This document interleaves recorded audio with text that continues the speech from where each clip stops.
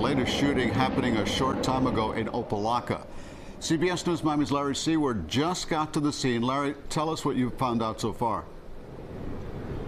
So, Elliot, we are about 10 blocks east of Opa-locka Airport. This is Southwest 27th Street behind me. You can see that black car behind me over the shoulder, the rear passenger window. Take a look at that. Someone was sitting in that seat when a bullet came through that glass. And right now, as we speak, I don't know if you can hear it, but there is a helicopter. The Miami-Dade Police Department, their officers, as long as well as Opa-locka, they are searching an area just south of here near Burlington Street where there are railroad tracks. That is where this shooting happened. I want to show you some video from a short time ago. Paramedics taking the victim, who is 12 years old, according to his family, away to a hospital. We saw him standing. He had a patch on his neck. We're told he was grazed by glass. According to his aunt, his mother had just left the aunt's house with her. The mother had two children, her 12 year old in the back seat.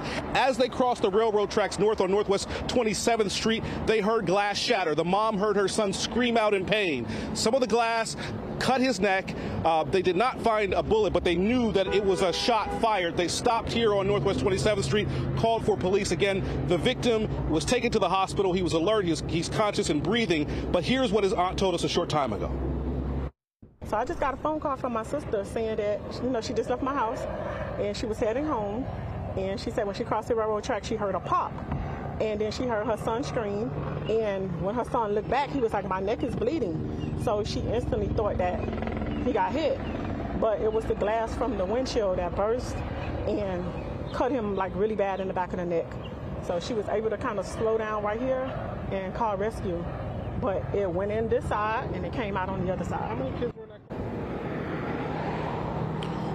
Back here live, you're looking at that bullet hole that is in that rear passenger window. According to that mom, her son was leaning forward at the time. Had he been sitting further back, he could have been hit by that bullet. Again, Opa-locka police handling this investigation as well as Miami-Dade police right now looking for that potential shooter, shooting suspect. We get more information. We'll bring that to you. For now, we're live in Opa-locka. Larry Seward, CBS News, Miami.